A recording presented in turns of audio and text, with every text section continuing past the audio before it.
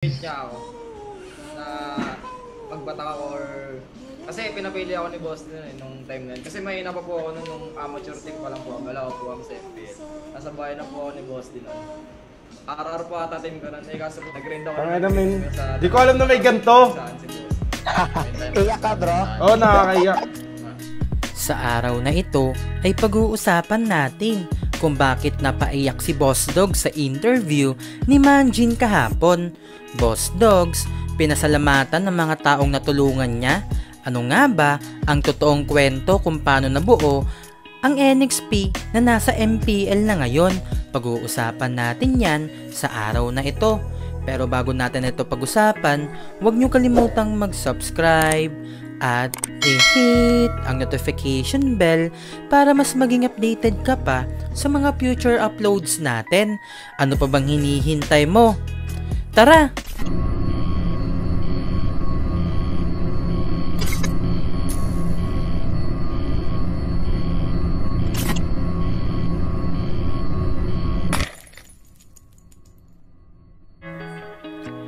Kahapon nga kapatid ay nagkaroon nga ng reaction video si Boss Dog sa video nga nito tungkol sa legacy niya na ginawa nga ni Munton para sa kanya. Si Boss Dogs nga ang kinikilalang ama ng Mobile Legends dito sa bansa dahil hindi nga sisikat ang larong Mobile Legends kung hindi dahil sa kanya.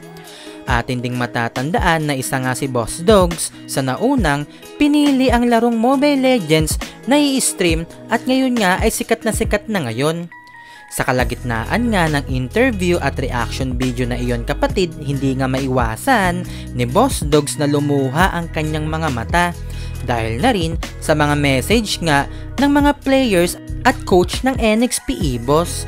Dito nga ay maririnig natin ang totoong boss dog sa totoong buhay. Ayun yung pinakamahirap sa akin. Yun nga, pagkakakilala ng para kay boss. Oh, grabe naman Ay! yung sinaquiz. Sinaquiz. Di ko to alam, tol. Nag-ano pala sila dito? Nag-interview. Holy shit. Kaya nga, pakinggan ka natin. Pakinggan natin. Pakinggan mo yan, pakinggan mo yan. Ayun yung character niya sa harap ng camera talaga. Pero pagka nakasama mo siya sa personal life, yung ganito, ito yung sa team, or kahit magkaibigan na kayo. Ibang iba yung ako si Doggy sa totoong buhay talaga. Life lessons ko na itinuro sa akin ni Boss yung yung minotivate niya ako na magbata ako or kasi pinapili ako ni Boss eh, nung time na. Kasi mahina pa po ako nun nung amateur team pa lang po. Wala ko po kami sa FPL. Nasa bahay na po ako ni Boss din nun. RR po ata team ko nun. Eh kaso po na-disband ko yung Rumble Royale ko na team. Eh, nung time na yun, tatlo na lang po kami natira sa team. Eh, pinapauwi na po kami ni Boss. Tapos pinapili po ni Boss di kung mag-grind ba ako or uwi na. Tapos pinili ko mag-grind. Oo. Tapos yun, nag-grind ako. Nag-grind men. ako sa- Di ko alam na may ganito. Saan si Boss? Iyak ka bro. Oo, oh, nakakaiyak. Ma- may pag may pagde-decidean po ata ako na malaki bagay tapos sabi niya kailangan ko daw maging wise sa, sa choice ko tapos kailangan ko mag-isip mabuti bago ko gawin ko yung bagay-bagay tulad Saan po yung life lesson ko na natutunan ko kay boss? Kung may pagkakataon, huwag po pusayahan yung pagkakataon na yun na pinigil sa'yo.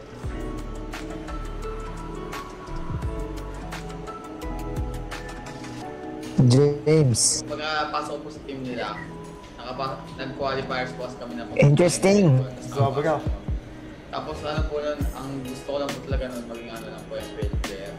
Tapos nagsimula lang po stream ko nun kasi si Boss po nagsabi, try ko daw po. Tapos yung page ko din po, sila lang din po gumawa ng page ko po sa Facebook eh.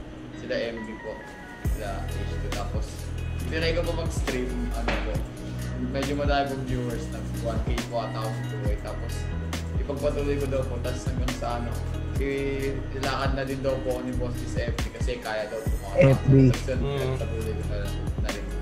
Ako po nung pagpasok ko ng Aetheros, ano po eh, nag-stream na po ako nun. Kasi po sa akin po pagkakataon, syempre po, may kapit po ako kay Boss D, syempre madami po akong viewers. Minotivate kami ni Boss D na mag-stream para ano, para may ipon kami ganun and para din sa future din namin. Yan na yun yung alam ko na pinati ni boss yung buhay ko. Kasi ano, yun, yun, dami ko pong sobrang natutunan dahil kay boss D. Tapos, ang dami ko rin pong nagagawa ngayon na hindi ko po nagagawa dati. Kung hindi niya pa po ako hawak. Tapos, yun po, dahil po sa kanya, unti-unti ko pong natutulungan yung family ko pe- may gusto kong gawin na hirap po ako dati, tapos kaya ko gawin ngayon na biglaan ko. Tapos nakatulong din po sa pamilya ko din po, gano'n. Tsaka sa sarili ko din po. Tsaka sa pang future Ow! din po. Naniniwala din po ako na binago ni Boss Dogs yung buhay ko kasi siya yung nagdala sa akin sa taas. Kung wala kung wala si Boss Dogs, wala ako kasi siya rin yung nagpangat nung ano ko, nung fan base ko eh, dahil sa sobrang thankful ako kay Boss Dogs. Tapos siya rin, kung hindi dahil din sa kanya, hindi ako na ano. Kasi nung time na dapat alis na ako, pinatuwid na pa ako na. Sa, madami rin kasi ako achieve, achievement sa Emil eh. Nung one time nasa bootcamp kami, nung dati kong team, tinatawag niya yung boss dito kung may team daw ba ako. Sabi ko meron. Tapos sabi niya po, team niya ng analyst. ganun. Kasi yung sa akin, yung short amount of time, parang nakakatulong na din ako sa pagkita ko, syempre. So ngayon, at least po sa karir ko ngayon, ah, mas naging goods ako. Kung, kasi hindi ako sumuko kasi di ba tinuloy ko pa. Tapos yun nga, ayun, nagiging stable na rin po yung buhay ko, yung pamilya ko. Kaya, yun, sobrang laking masasalamat po talaga kay Boss. Pagka pumunta ka dito, Interesting, pre. Sobra. Alam mo, par parang ano, kumbaga ang dating sa akin, parang mga anak mo na tumati. Ah, hindi naman. Parang sabihin, bunsong kapatid. Like, oh, Ang- ta- ang tas tingin ko, kaya oh. nang maglakad mag-isa. oh, at tingin ko sa kanila bunsong kapatid. Like, kasi ako kasi tol, ano eh, ayokong napag-iiwanan yung mga kasama kasama ko sa bahay. Alam mo yun, yung parang gusto ko ano meron ako, meron din sila. Like, for example, may kotse ako, gusto ko sila din. Yun, si Renny may kotse. Si H2, pabili na ng kotse. Si Yawi din. Like, nagpapagawa na ako ng bahay. Si, ganun din si H2, ganun din si Yawi. Basically, halos lahat. Si Zico din. I mean, ayun sa akin, tol, kasi gusto ko, like, gusto ko mag-iwan ng good impression. Kasi, hindi porket influential ka na kaya mong gulangan yung tao eh. Kasi, tol, sa akin ah, ang nakakasiga sa friendship is money. So, every time na may padating, hindi ko talaga sila sasabihin na parang kukuha ko ng cut. Ibibigay ko sa kanila yung kung ano yung dapat sa kanila kasi deserve nila yon. Ba't pa ako kukuha sa kanila kumikita naman na ako? Di ba? So, ibibigay ko sa kanila 100% sa kanila yun. Para makita nila na transparent ako, wala, wala dapat silang ikatakot pagdating sa akin. Basta pagkausapang pera, investment, lahat-lahat. Kasi gusto, oh, kasi Oo. gusto ko yung step ko, papakita ko sa nila, kunwari, nagkamali ako, napabili ako ng ganito, which is pangit pala sa investment, sasabihin ko sa, tol, wag ka muna, wag ka bumili nito kasi pangit.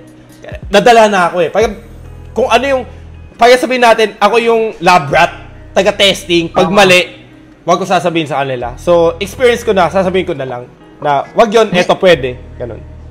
Na-curious ako bro kasi itong team na to ngayon na yan, yan, yan, sina sina Yawi na yun nga, grabe, grabe yung pop nila ngayon eh. Ito yung, actually, ito yung team na nabuo mo nang hindi pa kayo MPL eh. Mm. Kasi if, I'm- if I remember, ako ano ako rin yung nag-cast nung natanggal kayo eh. Oo. Ala, Valkyrie, ah, Valkyrie, di ba? Oo, tol. Season oo. three? Oo, season 3. So, paano mo to na process, bro? Ang ang parang ang curious ako is paano mo na process na guys, buo tayo team. Pero kailangan yung mag-stream. Kailangan yung mag-pop. Paano parang tsaka paano mo sila napili? Ganon like pa, pa- ano ba sila ba mismo yung may gusto nun? Kasi ang pag-aalala ko, ang naalala ko lang si Renny J na part nung next play sa isang liga. Di, ba ko- di ba magkasama tayo noon, pumunta pa tayo sa ano, nung kasama si na Anthony, di ba? Oo, oo, oo, oo. Iba pa iba pa yung team nyo noon eh, si Renny J lang yung naalala ko eh. Tapos parang paano mo na process na, oy, guys, sali kayo sa content. Kailangan nyo to. Ito yung magmaiiwan ng marka sa inyo. Parang ano ba yun? Ah, kailangan ano ba? Parang dapat ba kahit papaano gawin nyo ng career to? Legitimate career na ba ang ano? Ang dapat stream nyo din yung laro nyo, ganun. Hindi naman tol, sa akin kasi tol nagsimula lang ang yan sa The National eh. Yung nag, nag, naglago ako na sa The National. Nung naglago ako sa The National, um, si Renny J tol, um, biglang super lakas si Renegade doon. Like, to be honest. Yan si Daniel Oo, Slavern. oo. Pero talagang... Si, ah, si Aaron. Oo, si Egon. So, nung tumataas na yung ano nila, like, nagiging, yung fame nila umaangat na, sabi ko, tol, stream na kayo. Like, eto na to eh. Yung parang grab the opportunity while it's here. Wag na natin palipasin pa. So, yun. Tapos yung sa MPL, yung nung wala na akong MPL nun, sabi na wala na akong team sa MPL, yung mga taong lumapit sa akin, kinuha ko. Like, hindi nila expected din yung MPL. Ang expect nila is mag-ML lang talaga. So, pero expect nila yung big thing. Like, yun nga, the national. Pero, matalo manalo, sama-sama tayo. Pag natalo kayo, sama-sama tayo matatalo. Pag nanalo kayo, sama-sama tayo mananalo. So, ga- ganun kami. Like, walang iwanan. Kaya yung mga nakuha ko nung after, M- nung nalaglag yung Aether Valkyrie sa MPL, nung sila Renegade na H2, men, hirap at ginhawa, nandyan sila. Alam mo yun? Umulan, bumagyo. Alam mo yun? Abay, kasabihan nga eh, um, there's always sunshine after the rain, di ba? So, Kanta yun, bro. Kanta yun. Sunshine.